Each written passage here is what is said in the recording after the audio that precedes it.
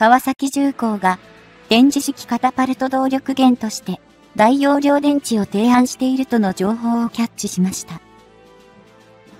今回は日本の空母事情とこの川崎重工が開発した電磁式カタパルト用大容量電池を詳しく見ていきますね。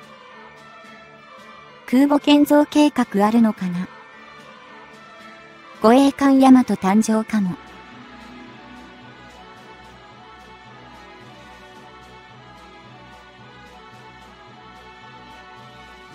2023年3月中旬の3日間、千葉県千葉市の幕張メッセにおいて、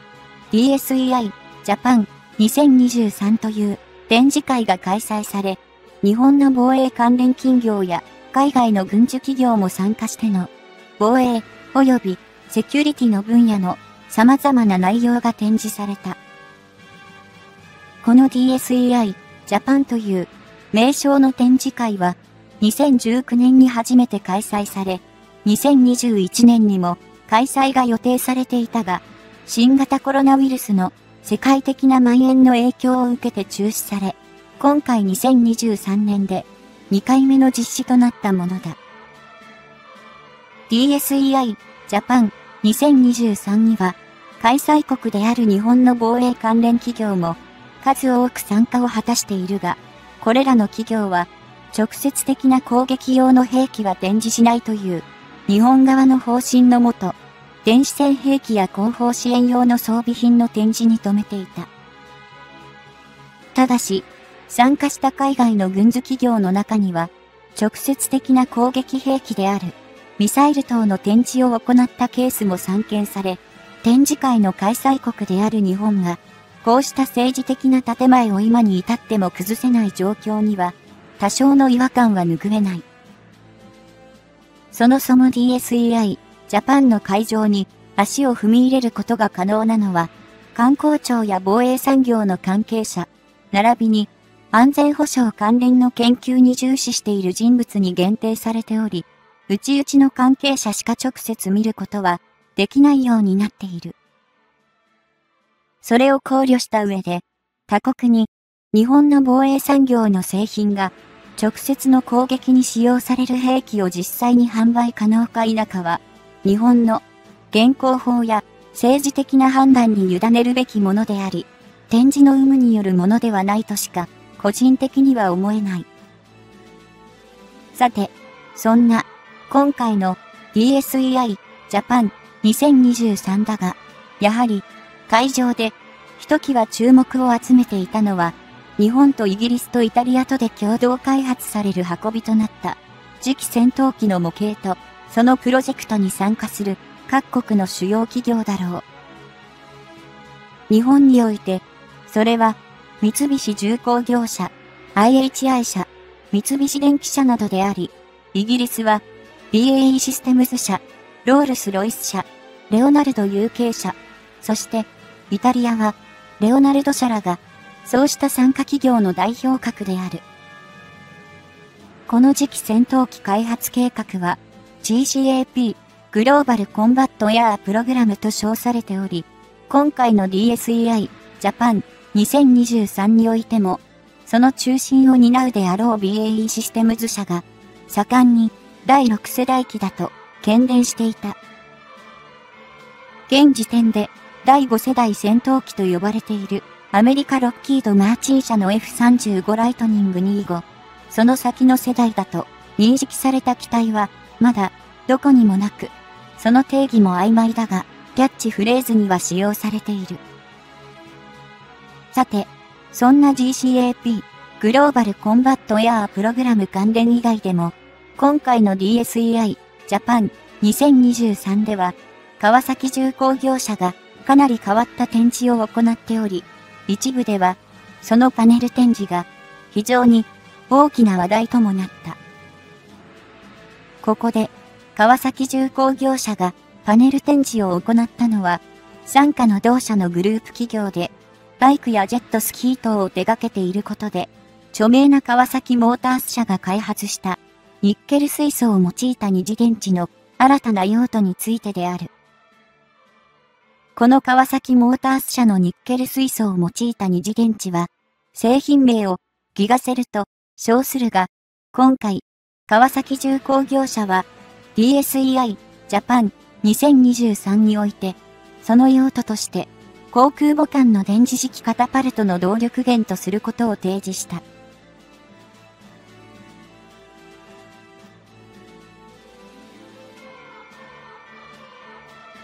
航空母艦のカタパルトといえば、それらの艦艇から艦載機である機体を強制的に加速させて射出する機構であり、機体自身が自らのエンジンの出力によって発艦する場合に比して、より短い滑走距離でそれを可能とする仕組みである。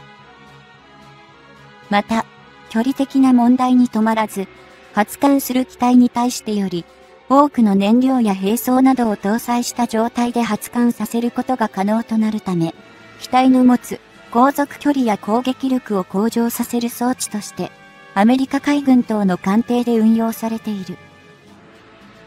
実際には、この2023年3月において、カタパルトを装備し実戦配備された航空母艦というのは、アメリカ海軍のニミッツ級航空母艦10隻と、ジェラルド、R、フォード、そしてフランス海軍のシャルル・ド・ゴーレの合計12隻のみである。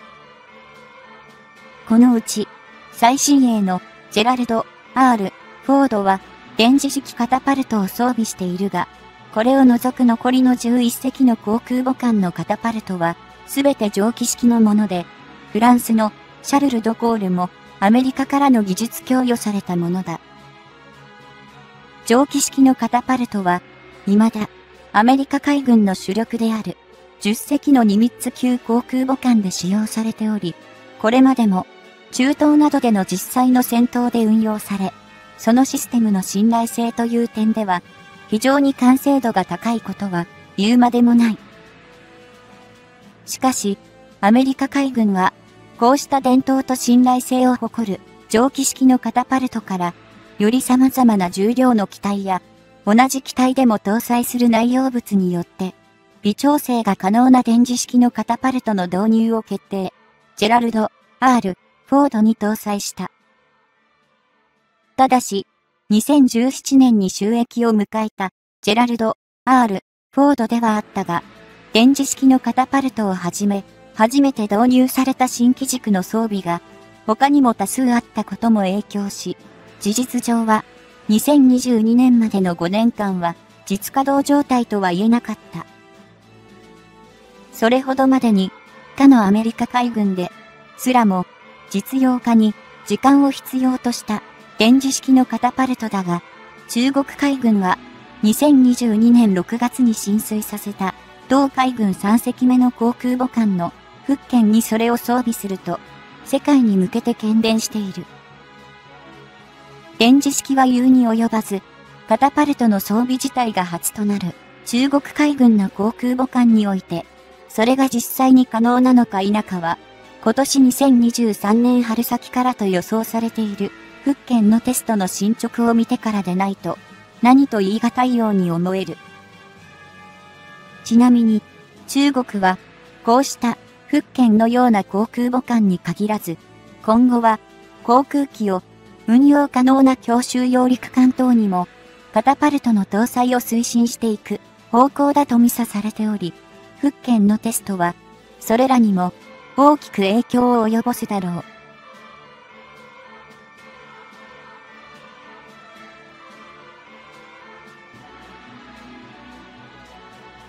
それは、今後の軍事的な潮流としても、強襲揚陸艦等に無人航空機を艦載機として運用することへの後押しとなる可能性があり、有人機よりも、はるかに軽量な無人機の艦載機化と、その運用を占うものとなるのかもしれない。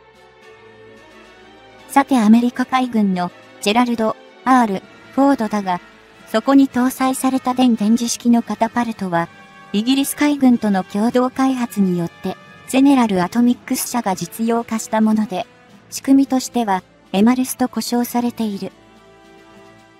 この電磁式のカタパルト、エマルスは、主として4つの要素を持つシステムで構成されており、それは、モーター、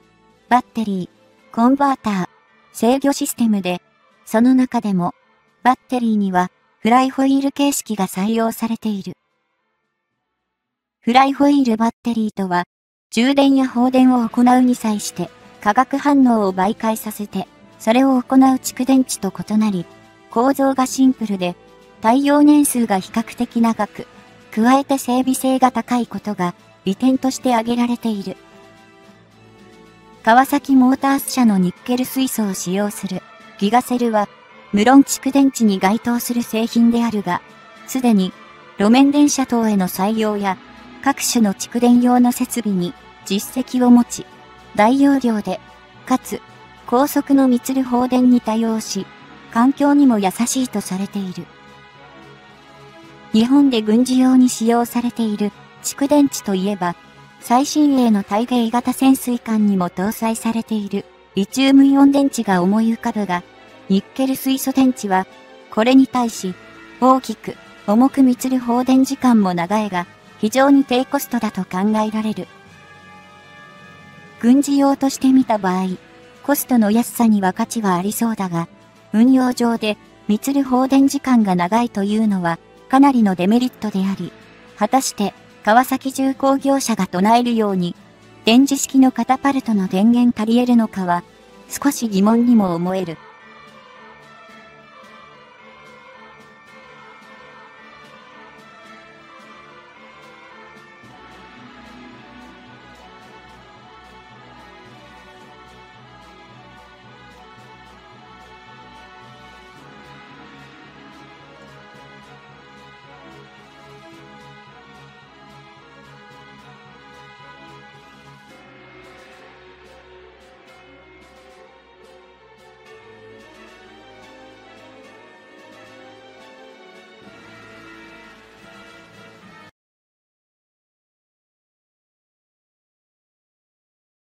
イギリス軍が誇る空母クイーンエリザベス。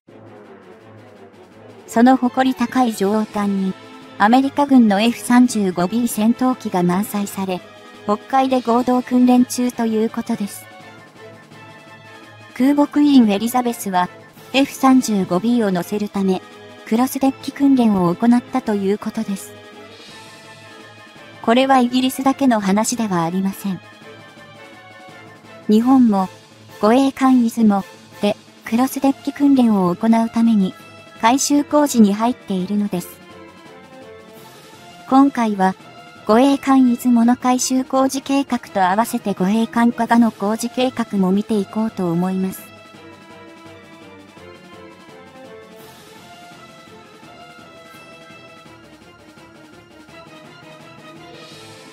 クロスデッキというのは空母の共同使用ということです。デッキ、甲板をクロス、交差させるということですね。自国の空母に離着陸させるのですから、どの国の戦闘機でも良いというわけにはいきません。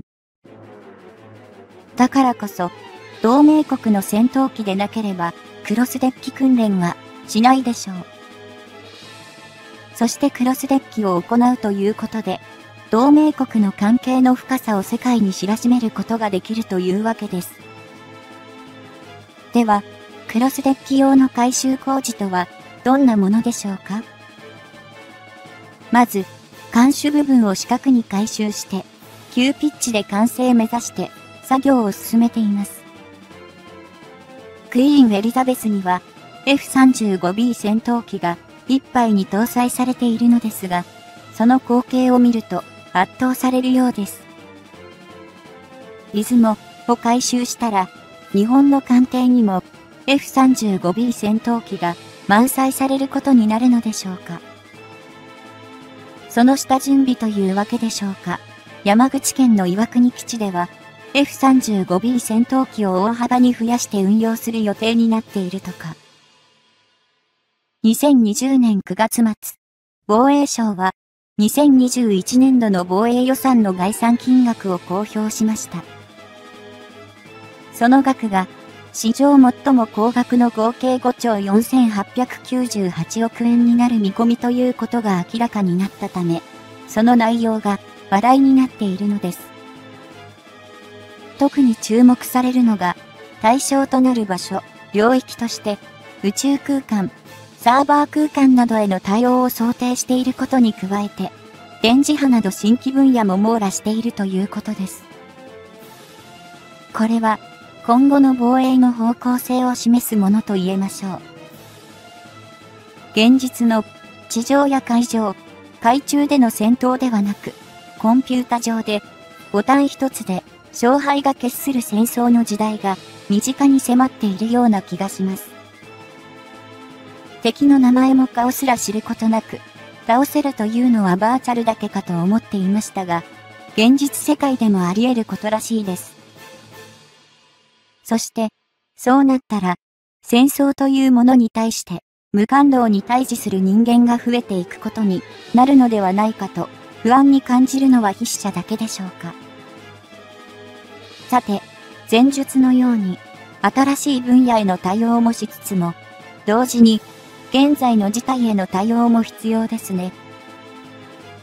その対応と考えられるのですが、現有のヘリコプター搭載型護衛艦出雲、加賀に本格的な航空母艦化工事を行うため、231億円という高額な具体的回収費用が盛り込まれたところも注目されるポイントとなりました。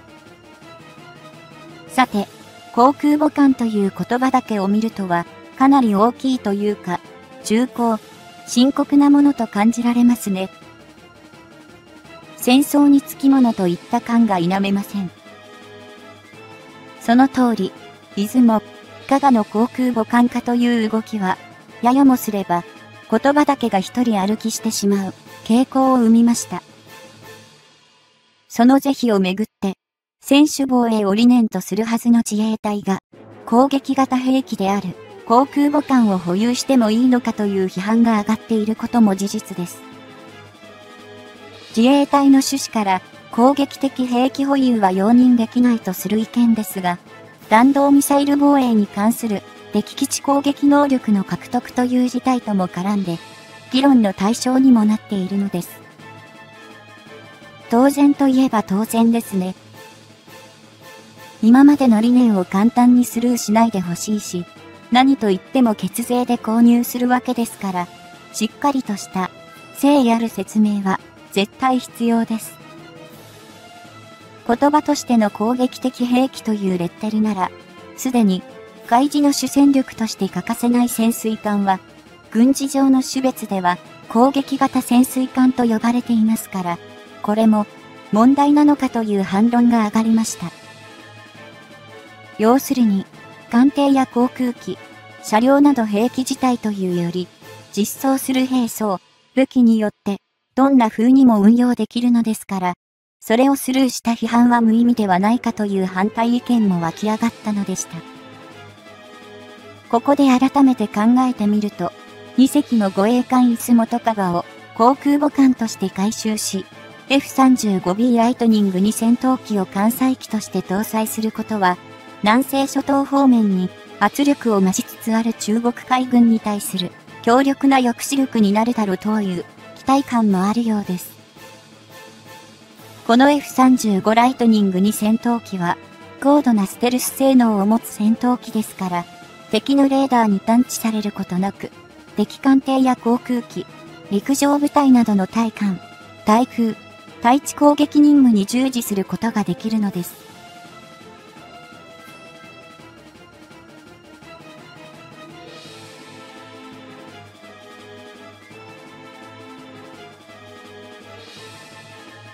そうなれば、尖閣諸島の防衛、万が一中国に強奪されたとしても、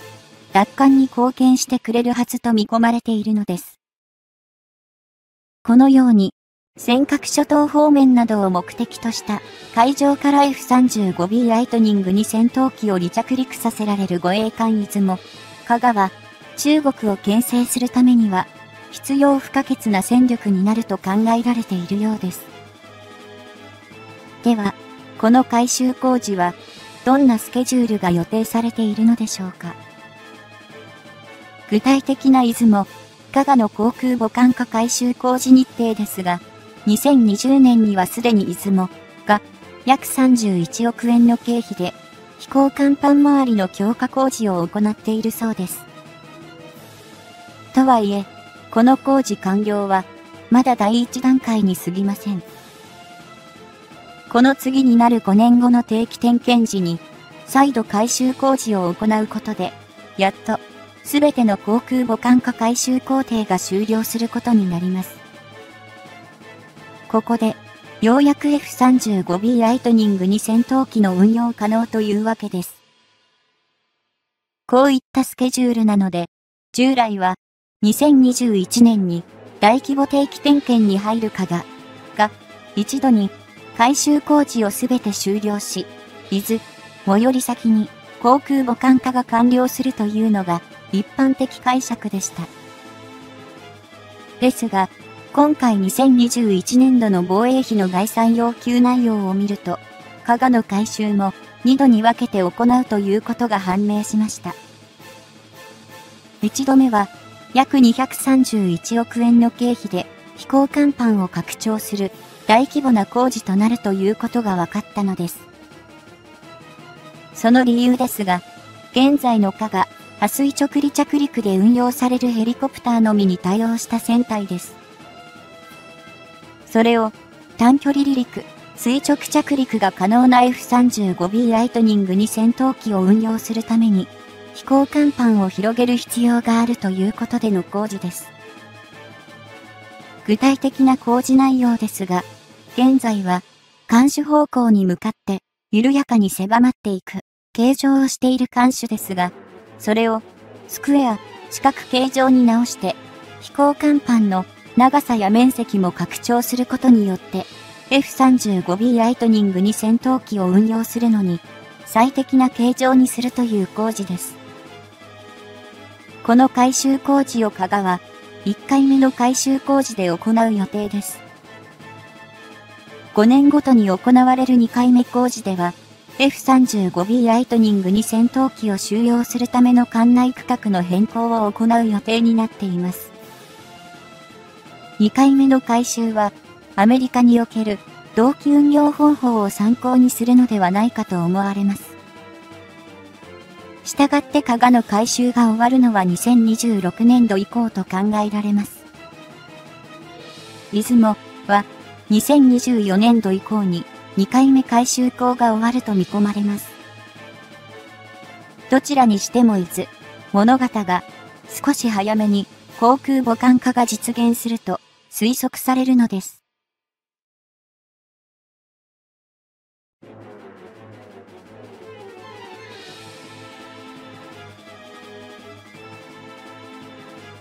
では、日本が期待する F35 ライトニング2戦闘機について少し説明しましょう。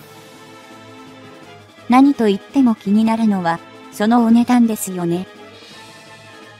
果たして、どれほどの巨額予算が注ぎ込まれることになったのでしょうか改修工事と補聴を合わせるかのように、調達予算が組まれている F35B ライトニング2戦闘機です。2020年度予算は、6機購入予定で、経費は793億円。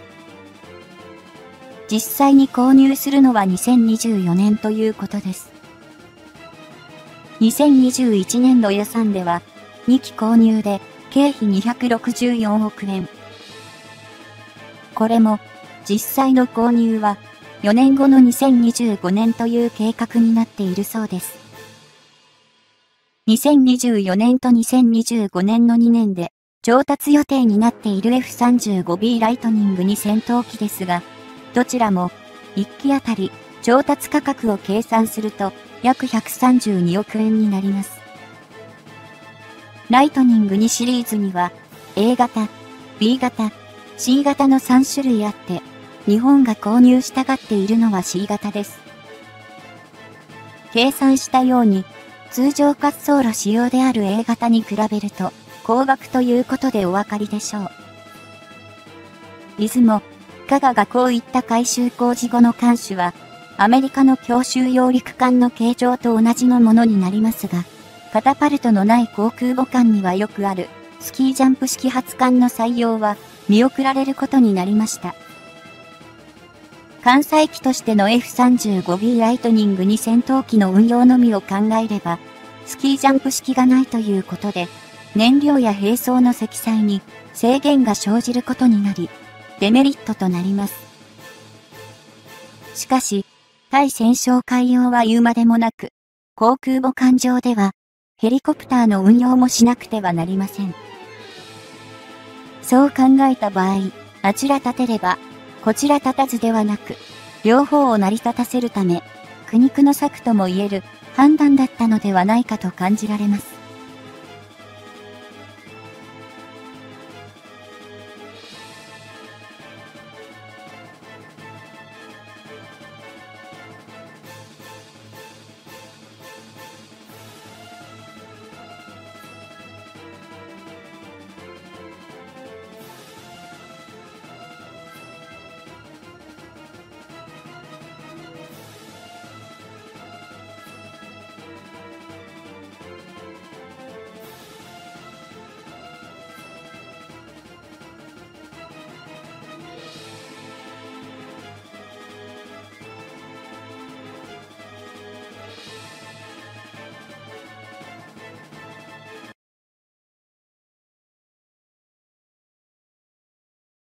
日本はもちろん、世界各国で通常動力型潜水艦にリチウムイオン電池を採用する艦艇が増えてきました。今回は海上自衛隊ですでに搭載されている燃料電池について見ていきたいと思います。もちろん、リチウムイオン電池の先輩にあたるスターリングエンジンも優秀でした。と言っても、時代の趨勢、数勢でよりパワーアップした製品が求められるのは当然でしょう。結果として誕生したのがリチウムイオン電池です。電気自動車などで利用率が高まっている水素エンジンも今後はどうなるか、ひょっとしたら搭載されるかもしれませんね。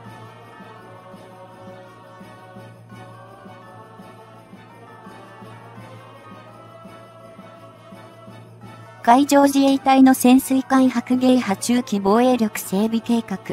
26中規模に基づく2018年度計画3000トン型潜水艦8129号艦として計画されました。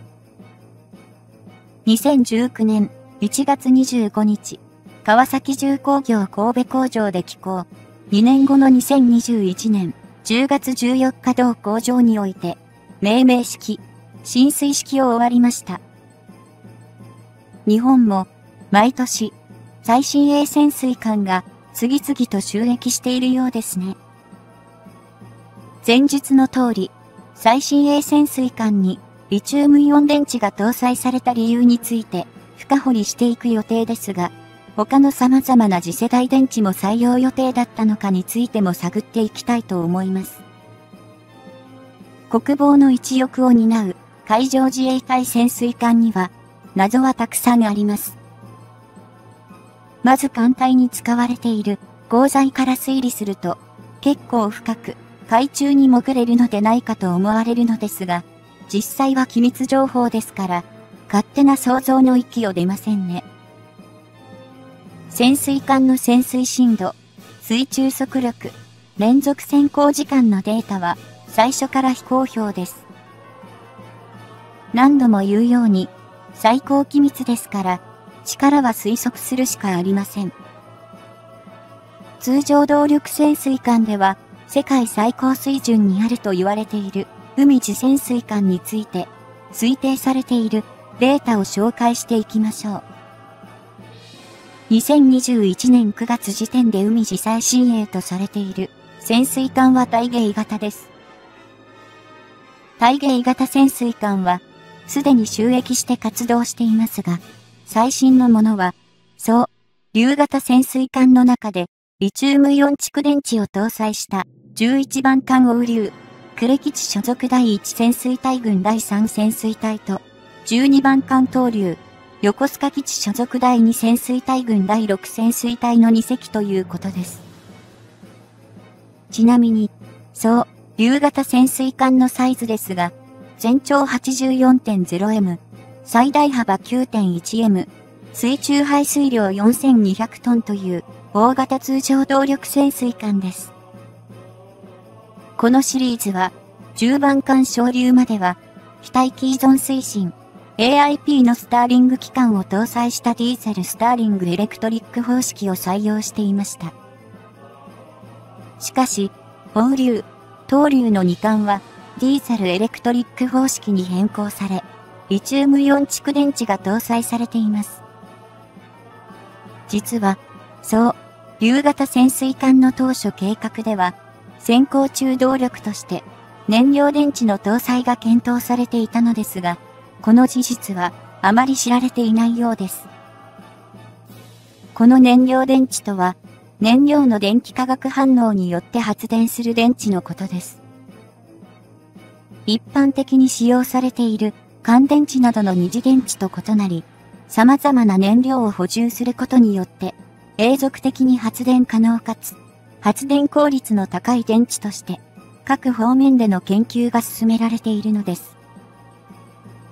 防衛省防衛装備庁旧技術研究本部は、最初にナトリウムアマルガム燃料電池採用を検討していたのですが、使用する水銀が大量に必要となったため断念しました。水銀は健康被害や廃棄などにも問題がありますからね。そして酸素、水素型電池の開発に方向転換し、実用化にこぎつけましたが、潜水艦への搭載にあたっては、燃料である液体酸素の取り扱いが不安視されたのです。こういった経緯から、そう、夕型潜水艦には AIP であるスターリング機関の搭載が決定されました。その一方、当時の技術研究本部では、同時に次世代潜水艦用蓄電池として、リチウムイオン蓄電池の開発にも着手していたそうです。では、リチウムイオン蓄電池のメリットを紹介しましょう。鉛蓄電池の欠点だった水素ガスの発生がありません。エネルギー密度が2倍以上で、1.5倍以上の繰り返し密る放電回数を叩き出しています。充電時間も短縮し、放電による電気容量低下も少なく、長時間の効率放電が可能となりました。つまり、潜水艦に搭載する蓄電池として優れた特性を多数持っていると言えましょう。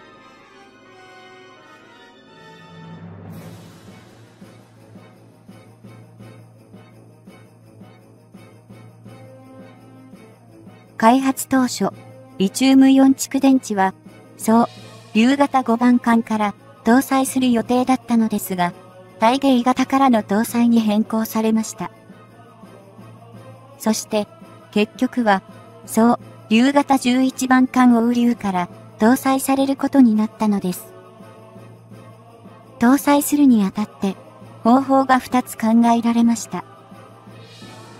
一つは、そう、夕型のスターリング AIP 機関を維持したままで、鉛蓄電池とリチウムイオン蓄電池を交換する方法。二つ目は、スターリング AIP システムも含めて、リチウムイオン蓄電池と置き換える方法です。二つの方法を検討した結果、AIP も含めて、すべてを置き換えた場合、コスト高にはなりますが、水中出力が大きく、連続潜行時間も長くなるというポイントから、すべてを置き換える方法が採用されたのです。潜水艦用にあるようなリチウムイオン蓄電池、採用によって、様々な面で高スペックにとなったと思われますが、実は、スターリング AIP システム搭載艦と比べると、軸馬力が8000馬力から5600馬力に減少しているのです。ですから、本流、東流は10番艦までと比べると、水中での瞬発的な最大速力は、20ノット、時速 37km から18ノット、時速 33km に低下してしまったということになるのです。とはいえ、鉛蓄電池が高出力を発揮する時間は短く、10番艦までは最高出力20ノットになるのがたった5分間ですし、連続潜行時の水中最高速度は16ノット止まりとされています。リチウムイオン蓄電池は、長時間持続的に高出力を発揮可能ですから、放流、投流の連続潜行時の水中速度は18ノットを維持できますし、連続潜行時間は10番間までは2週間でしたが、1ヶ月に伸びているのです。源泉は半永久的に潜行できますから、比べれば物足りないかもしれません。しかし、人間が乗り組んで運用する以上、半永久的といえども、食料補給や乗組員の休養のため、定期的に浮上することは必須条件です。1ヶ月連続で先行可能ならば十分でしょう。従来まで使っていたディーゼルスターリングエレクトリック方式の、そう、夕方では、フル充電には、シュノーケル航行時間が5から7時間必要とみられますが、リチウムイオン蓄電池は急速充電ができるので、2から3時間で可能です。ということは、作戦運用上のシュノーケル航行時間が大幅に短縮されますから、敵から発見されるリスクも軽減しているということになります。実は、潜水艦の最大潜行深度については、最重要で最機密と言われる性能です。ですから防衛省が公表したわけではありませんが、そう、夕方の先行深度は 600M から 700M と予測されているようです。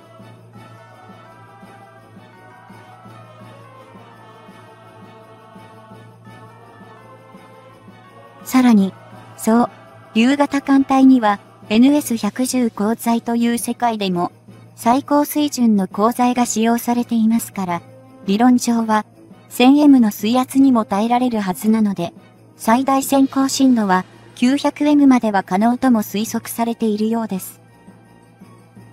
ちなみに、海外の通常動力潜水艦でも、輸出タイプのものは、性能が概略ですが公表されています。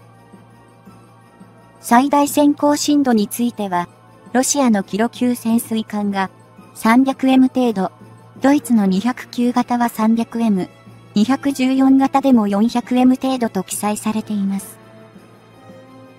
原子力潜水艦での最大先行深度は 500M から 700M と推測されますし、アメリカの高性能原子力潜水艦シール普及などは 900M から 1000M と言われているようです。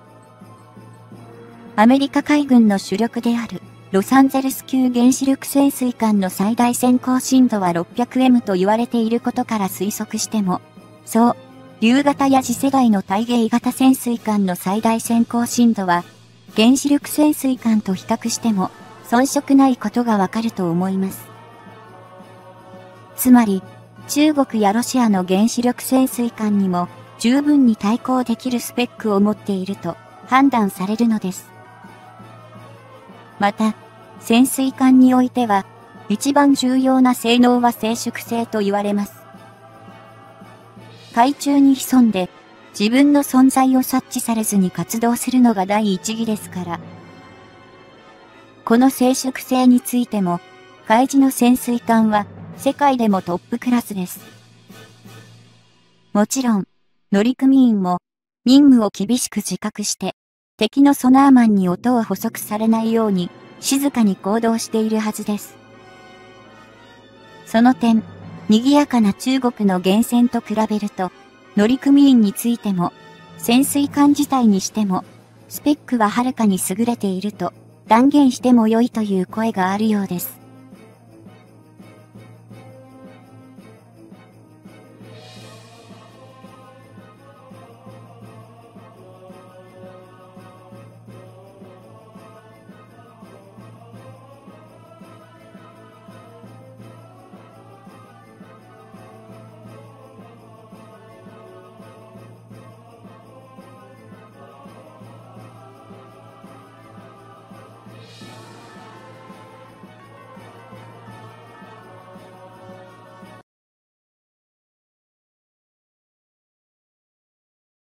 レールガンという言葉を聞いたことがありますか？日本政府が開発を急いでいる武器です。今回は、このレールガン開発は、どこまで進んでいるのかについて見ていきたいと思います。まるで SF のような話ですが、実際には近未来の話のようですよ。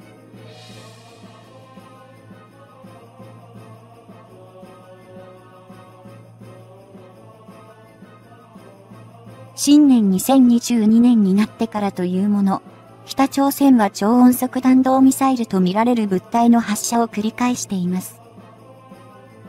それへの対抗手段として、2022年度防衛予算に研究開発費が計上されたのがレールガンです。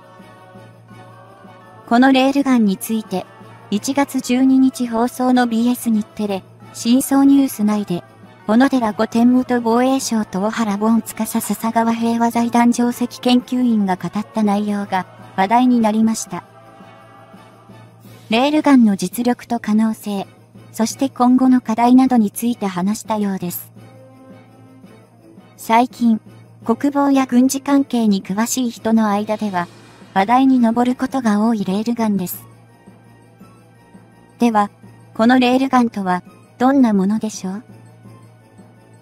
一言で表現すると、火薬を使わず、2本の通電性の良いレールに高電力を流し、その電気エネルギーが磁場を発生させ、レールに乗せた弾体を射出する仕組みで、電磁砲とも呼ばれる次世代兵器を指しているのです。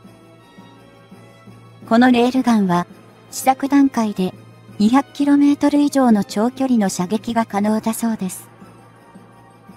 理論上、火薬で発射する重砲や燃料を燃焼させて飛翔するミサイルと比べると、低コストかつ連射も可能とされるので、飽和的ミサイル攻撃などへも対処可能と思われる兵器と考えられています。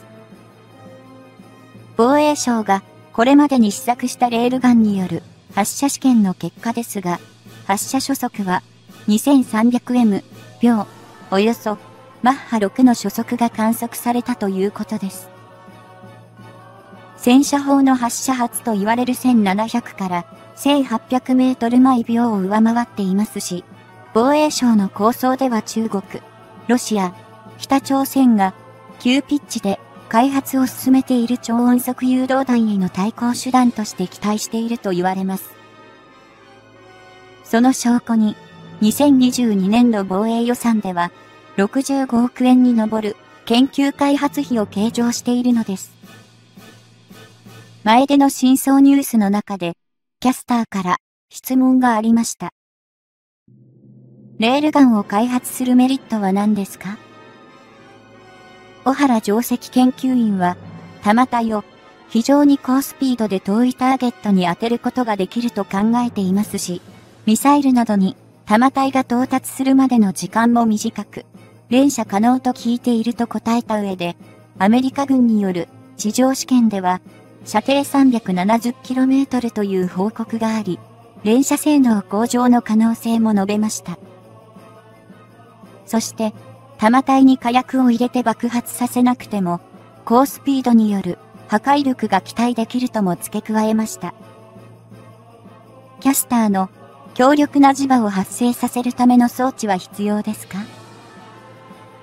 という質問に対しては、先行国であるアメリカが10年間開発を続けてうまくいかなかった理由として、高電力を出力する電源装置開発が難しかったことを提示し、特に水上艦艇に艦載できるコンパクトな電源装置開発が難しかったことが、その理由ではないかと指摘しました。現状で、レールガンを艦載可能な艦艇として例示したのが、統合電源システム iPS を持つズムウォルト級駆逐艦でした。iPS は大きな電力を必要な箇所に集中的に配電できるシステムなので、レールガンの発射は可能と見ていますが、発射には高電力が必要なので、他の電子装置が使用不可能になってしまうため、実際に艦載は難しいとみなした上で、日本ではこういった電源システム関連の研究が進んでいるから、技術の優位性があると結論付けたのです。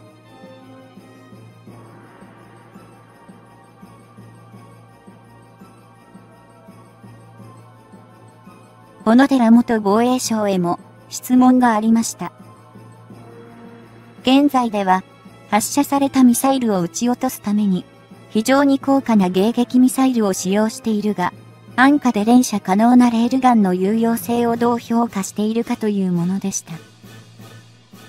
小野寺氏は、2012年に、初めて防衛大臣に就任した時から、レールガンについて割り返していた、多額の費用がかかる、ミサイル防衛システムに代わる、次世代のシステム研究をしっかり行うように、指示を出したと明かしました。2017年、防衛省に再任した際には、レールガンの試作機は製作過程だったので、その段階で、かなり高スペックを持っていることは感じていたとも語りました。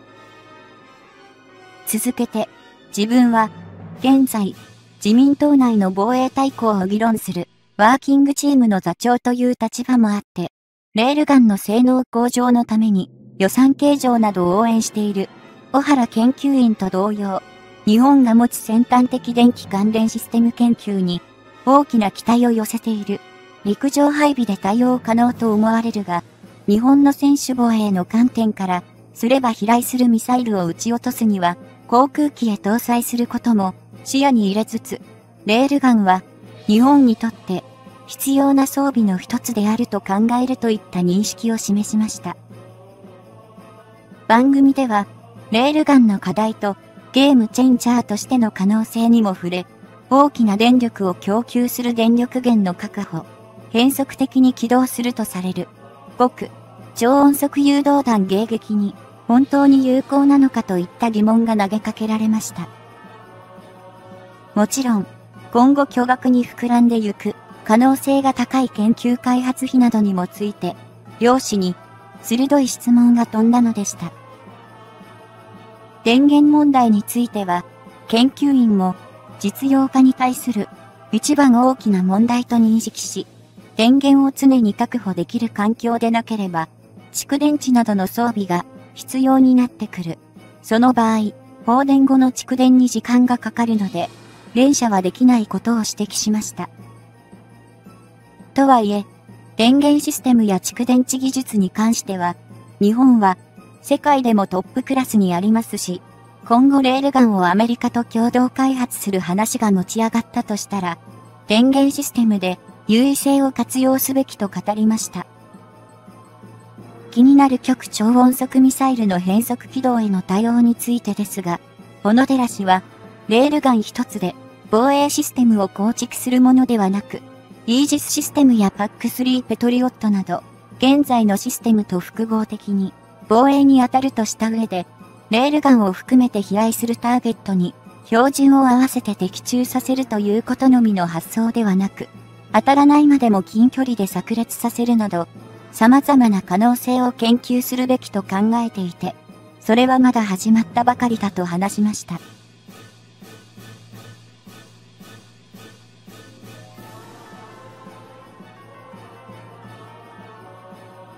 小原研究員は、極、超音速ミサイルは、速度が上がるほど運動性が低下する事実を指摘。高度を下げると、空気抵抗によってスピードが下がることから、変速軌道を取れるのは、空気が薄い高高度にある時だけで、ターゲットに接近して高度が下がれば、いずれまっすぐ落ちてくる。その際にレールガンを連射して迎撃できれば、超音速でも撃墜は可能と語りました。レールガンの開発は古く、60年前の1960年代、昭和35年から構想があったそうですが、本格的に動き出したのは、ここ10年ほどで、実現性に疑問を挟む声もあるようです。しかし、小野寺氏は、防衛大臣在任中に、防衛省幹部のレールガンに寄せる期待と情熱を感じたとして、防空面だけでなく、追艦攻撃への活用という構想もあり、実現する可能性は高いと言っているのです。さらに、日本とアメリカの共同開発が実現すれば、同盟強化にもつながり、2028年までには、試験を終えて実用化に進むかどうかに注目したいと希望を述べました。小原研究員は、2028年までに開発を終了するというのは、かなりのスピードで、日本のこういった急速な技術開発を進められる力を、具体的に世界へ見せつけることによって、抑止力を高め、日本が主体性を持って、アメリカと共同開発を進めていくことで、中国が日本には主体性がないと見ていた目を変えさせることができると語りました。そして、日本が今後、革新的技術をさらに高め、ゲームチェンジャー的なものを開発し続けられるようになったら、日本下手出しすることを躊躇するようになり、戦争を起こさないことにつながっていくだろうと推測を述べました。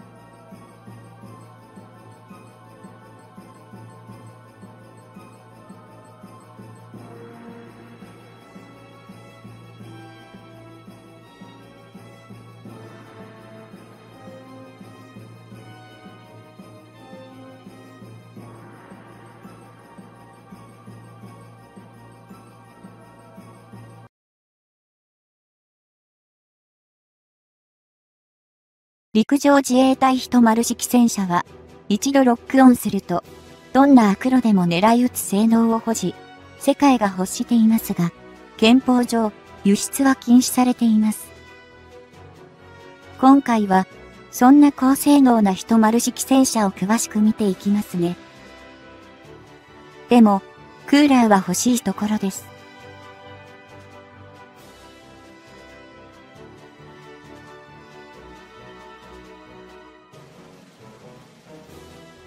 陸上自衛隊の第3.5世代、第4世代との見方も、主力戦車である、人丸式戦車は、国産戦車として4代目にあたり、それまでの第3世代主力戦車、旧丸式戦車と、比較して、戦闘力の総合化が図られ、火力、機動力、防護力が、それぞれ向上した上に小型、軽量化もなされていて、日本の国土防衛に適した戦車である。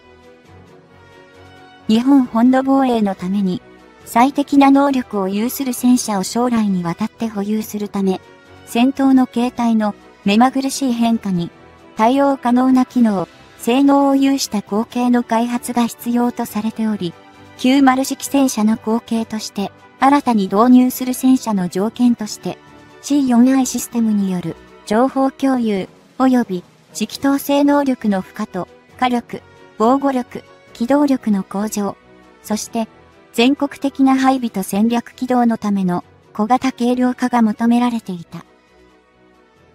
そして2002年度、平成14年度から防衛省技術研究本部、現在の防衛装備庁と三菱重工業において開発が進められ、2008年に試作車両が公開されて、主な諸言などが明らかにされた。その後2010年6月14日に、静岡県寸東郡小山町の陸上自衛隊富士学校、富士駐屯地で、一丸式戦車試作車両として、報道関係者に公開、旧丸式戦車と並走して走行する姿が公開され、さらに、同年7月11日に行われた、富士学校、富士駐屯地開設56周年記念行事で、初めて、一般向けに、2両の試作車による走行展示が行われ、この2010年度から陸上自衛隊で調達が開始されている。一丸式戦車の主な諸言は、全長9.42メートル、全幅3.24メートル、全高2.30メートル、全備重量約44トン、乗員3名とされ、90式戦車より一回り小さく、74戦車よりやや大きく、喧嘩方式が74戦車と同じく、全天輪が油気圧式のパッシブサスペンションとなっていて、74戦車と同様に左右への車体傾斜機能が復活していることが90式戦車との違いである。これまで日本が独自に開発してきた戦車のうち90式戦車についてはアメリカと旧ソ連による東西冷戦の影響を受けて主に平地が広い北海道での運用が考慮されており、大口径の 125mm 砲が搭載されている旧ソ連製の T80 戦車などに対抗するために大型化せざるを得ず、重量が約50トンとなった。そのため、90式戦車は、日本国内の橋梁や路面の許容重量の基準から、北海道以外では、平時における配備と運用が難しいとされ、一丸式戦車の開発においては、本州、四国、九州など全国的な配備運用に適した能力と、砲塔を乗せたままでのトレーラー輸送を可能にするなどの戦略上の機動性向上が求められた結果として、全備重量で約6トンも軽い約44トンとされたのである。74戦車を陸送する際にトランスポーターで輸送する場合、73式特大型セミトレーラによって車体に砲塔を搭載したまま輸送できる。しかし、90式戦車の場合は、最大積載量が50トンの特大型運搬車であれば、砲塔と車体が一体のままの状態で輸送できるが、最大積載量が小さい73式特大型セミトレーラでは、車体から砲塔を分離して下ろし、別々に輸送しなければならなかった。しかし、一丸式戦車では、全備重量が約44トンに収められているため、約4トン分の装甲などの装備を取り外すことで、砲塔を車体に搭載したまま、73式特大型セミトレーラで運搬することができるようになった。さらに、近年では、全国的に道路交通網が整備され、かつて、6人式戦車が開発された頃に比べると、道路の発展に反比例するように、鉄道は地方ローカル線の廃線が進み、輸送網として機能しなくなっている。そのため、陸上自衛隊では、74戦車の開発以降、戦車の鉄道輸送は事実上断念していて、90式戦車を輸送する場合、専用のトランスポーターで輸送を実施しようとすると、道路の許容重量によっては走行できるルートが限られてしまう。可能性が大きく、と言って舗装道路を長距離自走させた場合には、靴体、キャタピラーや足回りと路面舗装を傷める可能性が指摘されていたのであるが、一丸式戦車の設計にあたっては、同時代に開発された世界の第3.5世代主力戦車の中では、小型となる40トン級車両とすることによって、舗装道路を自走する際の車体と路面へのダメージ低減にも成功したのだった。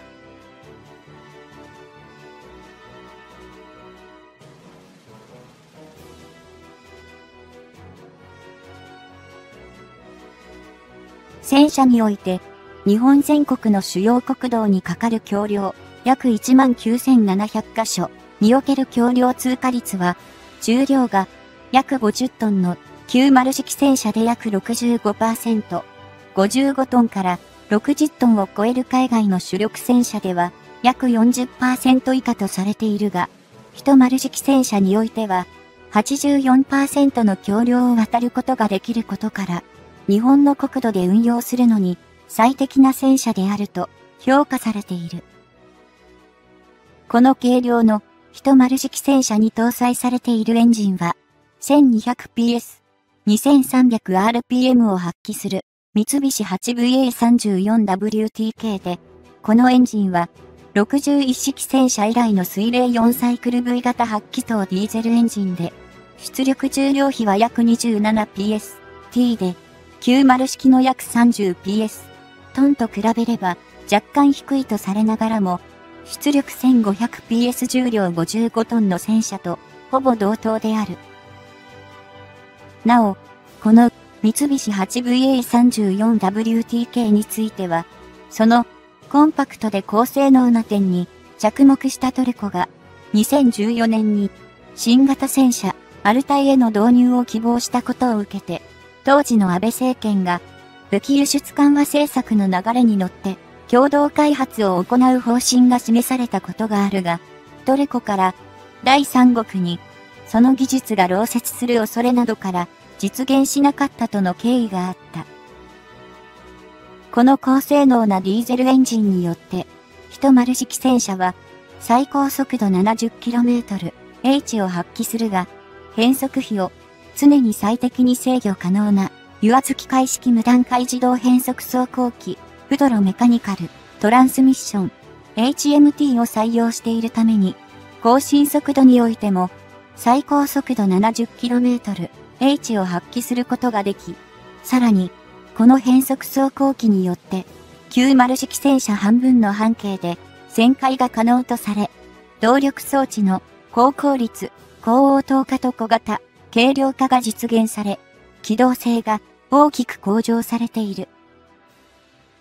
一丸式戦車手法には、これまでの44口径 120mm 滑空砲より、重量が13%軽減された日本製高所製の軽量高鋼、圧方針の44口径 120mm 滑空砲が搭載され、さらに、将来的には、必要に応じて、欧米の第3.5世代主力戦車の手法である、55口径 120mm 滑空砲への換装が可能なように設計されている。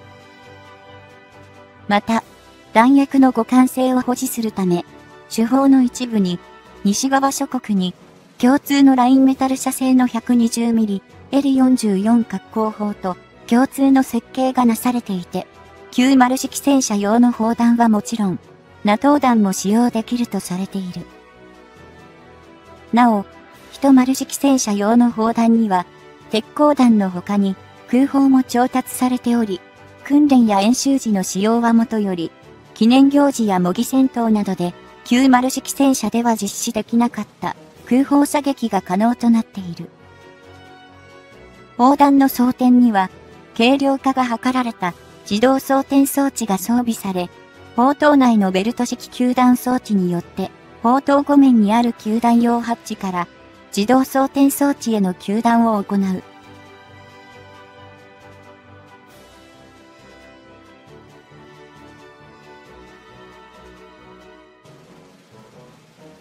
弾薬を砲塔内で保持する機構は、90式戦車ではが詰め型であったが、10式戦車では筒型になっていて、これにより、装填中の砲弾の挙動が安定し、不正地を走行しながら、戦闘時の装填安定性向上や、より早く装填することが可能となった。また、副武装は、砲塔上面の車徴用潜望鏡上部に、旋回式の 12.7mm 重機関銃 M2 と、手法と同軸に、74車載 7.62mm 機関銃が装備されている。一丸式戦車の装甲には、正面に複合装甲が採用され、その他の防弾板には、結晶粒微細化鋼板と呼ばれる鋼板が採用されており、増加装甲も含めて高い防御力を維持しながら、軽量化が図られている。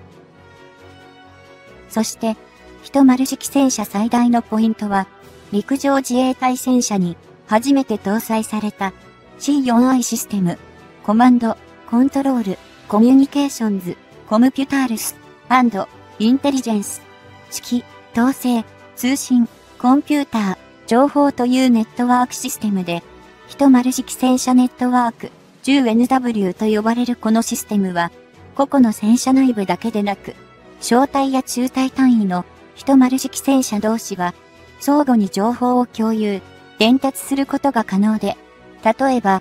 指揮官車の各種指示を、全隊員が確認可能なモニターで共有するほか、車両間において、リアルタイムで射撃データを共有したり、各社の燃料残量や損害などを把握したりすることが可能となっているだけでなく、海事や空事とのデータ共有なども可能とされ、自衛隊員の間では、走るコンピューターなどと呼ばれているという。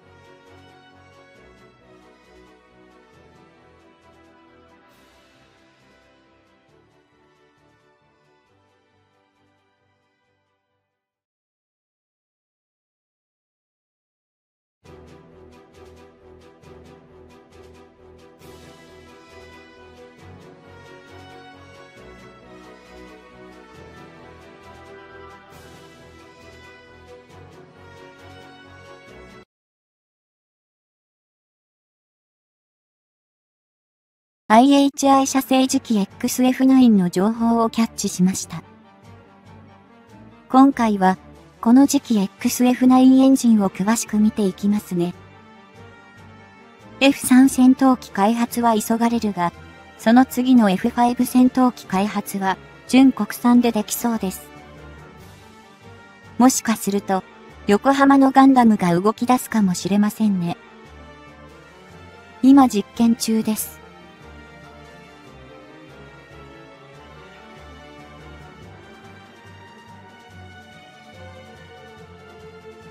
防衛省が2035年に退役開始が予定されている国産の F2 支援戦闘機の後継機として開発を進めている次期戦闘機は2018年、平成30年、策定の31中希望で開発が決定され、2020年、令和2年、三菱重工が開発主体となって、三菱電機、IHI、川崎重工業、スバル、東芝、富士通、日本電機、NEC の7社が参画することになり、三菱重工業とスバルに、川崎重工業が機体の開発を担当し、エンジンは IHI が担当、三菱電機が電子戦装備を制御するミッションシステムを、東芝、富士通、日本電機、NEC がレーダーを含む電子機器を担当するなどして、200人超の体制で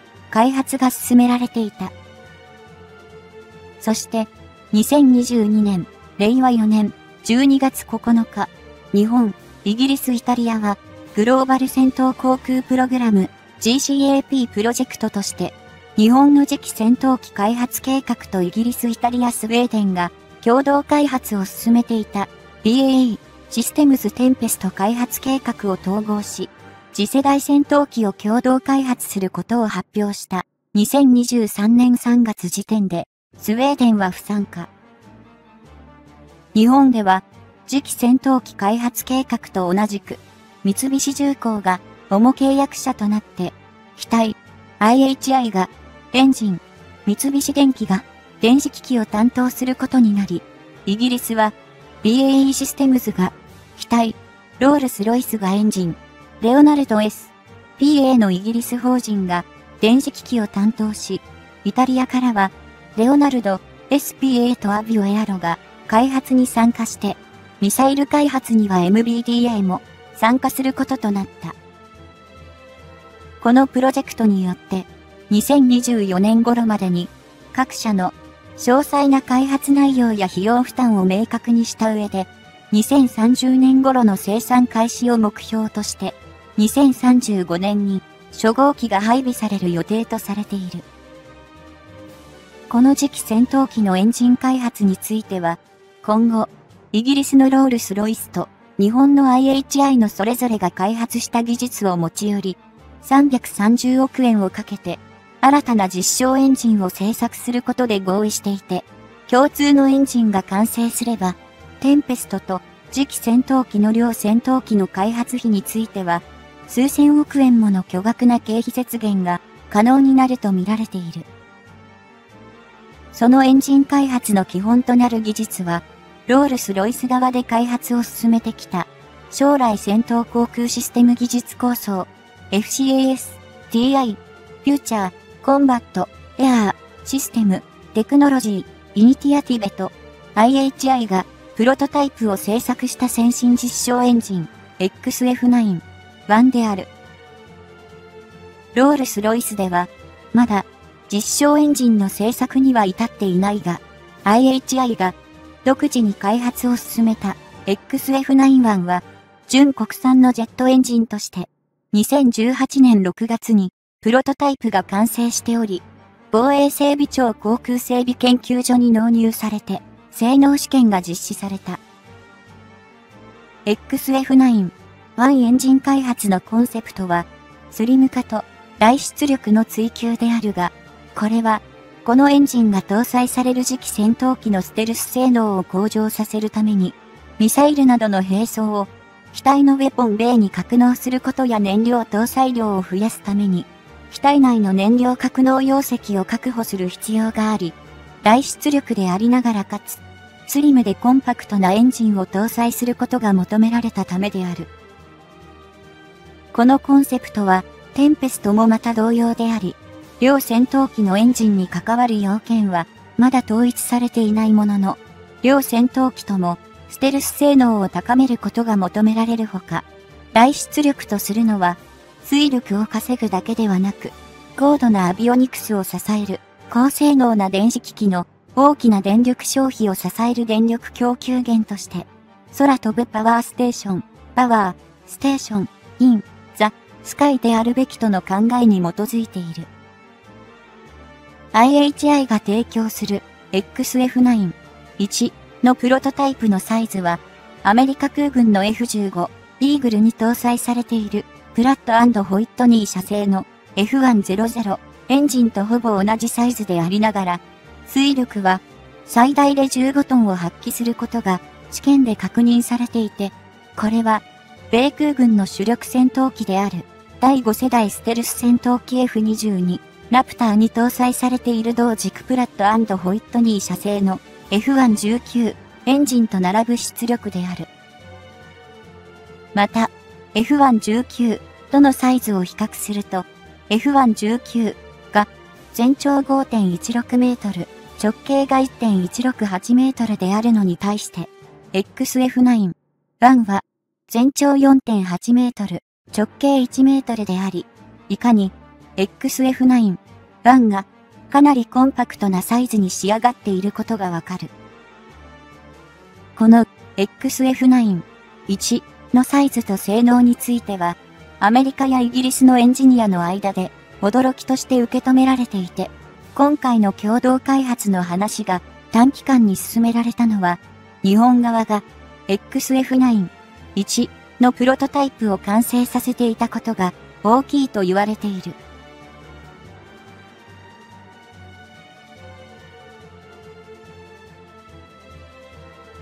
XF9、1は、高圧軸と低圧軸の2軸を持つ、アフターバーナー付き低バイパス比ターボファンエンジンに分類され、圧縮機前段部まで、強度の高いチタン合金を使用しているほか、繊維強化プラスチックやセラミック元複合材料、セラミック、マトリックス、コムポジテス、CMC を使用することで、エンジンの軽量化を図った。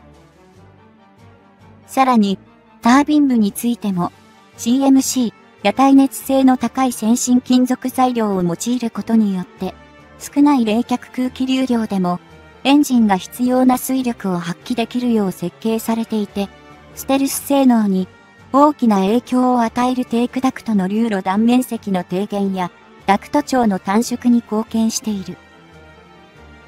コア部分には高圧軸としてコンプレッサー6段とタービン1段があり、この迷子に、ファン3段とタービン1段の低圧軸がある。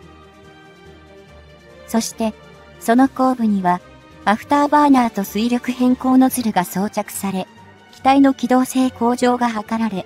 コア駆動ギアボックスには、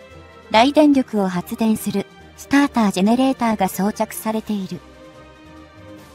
タービン入り口温度は1800度 C に達するとされ、この1800度 C という温度は、ニッケル系超合金の U.1400 度 C を大幅に超えるもので、ジェットエンジンにおいては、この温度が高いほど、高性能なエンジンとされ、XF9、1のタービン入り口温度は、世界的に見てもトップクラスと言える。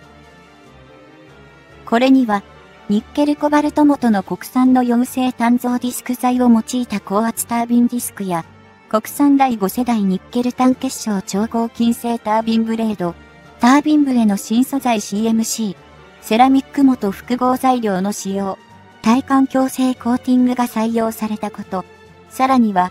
ブレードの空機構による保護層の形成などの材料技術と流体解析技術の流用が大きく貢献している。XF91 とロールスロイスが開発を進めているテンペスト用のエンジンは、共にアダプタイブ、サイクル、エンジン、アダプテイブサイクルエンジンであるが、これは離陸時、上昇時、巡航時、戦闘時などの飛行条件に合わせてエンジン内をバイパスする空気流を3段階変更することで、バイパス比とファン圧力の比を調整するエンジンのことで、これによりエンジンの推進効率と燃費の向上が期待され、さらに、外側の3層目の空気流によって冷却能力が向上して、エンジンの熱管理が容易になる。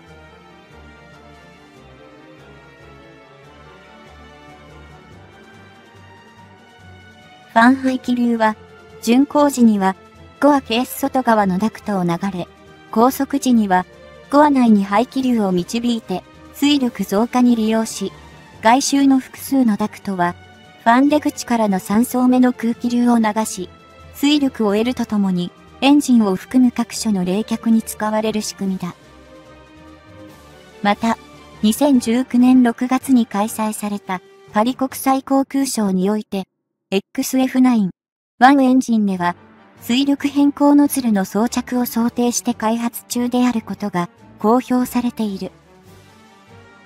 XF9、1においては、2016年度から2020年度まで、水力変更ノズルを装着して使用した場合の高運動性、ステルス性の確保などを目的に、水力変更ノズルに関する研究が実施された。この水力変更ノズルとは、ジェットエンジンやロケットエンジンにおいて、飛行中に、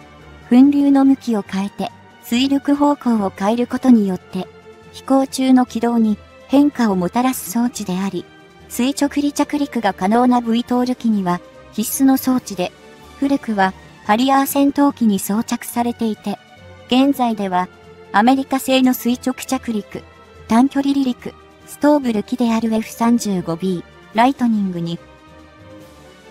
に使われており、この装置の装着が実現すれば、次期戦闘機において F35 のように通常離陸型だけでなくストーブル機も開発される可能性を秘めている。ここまでにおいて RR の FCAS TI は未完だが、同社のエンジン開発における技術力や実績は定評があり、IHI の XF9、1は実証エンジンが完成している強みがある。この両者の協力により、アメリカが開発中の次世代戦闘機用エンジン XA100 や XA101 に勝るとも劣らないエンジンの登場が期待されている。